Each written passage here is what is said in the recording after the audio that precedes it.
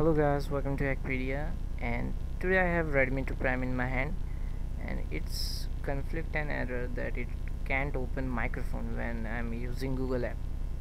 So check it out. Okay so here you can see can't open microphone. So it's not a major issue as you think. There is a simple step to remove this error. So first we have to get to the settings okay here the settings and we have to get to Google app inside installed apps. And then search it.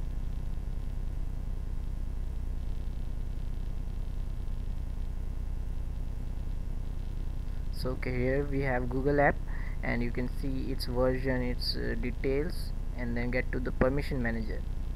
Okay here at bottom you can see record audio with lots of options and there are three. Accept notify deny select accept. Okay now it's accepted and now your google app will work. Good morning beautiful.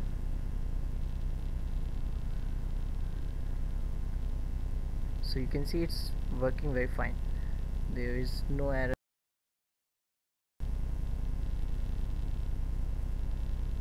Okay try it again. Uh, happy Diwali so you According can see it's working very fine. An and that's Hindu how I fixed celebrated this in autumn spring every year. and I hope this will help help you all. That's it. Thanks for watching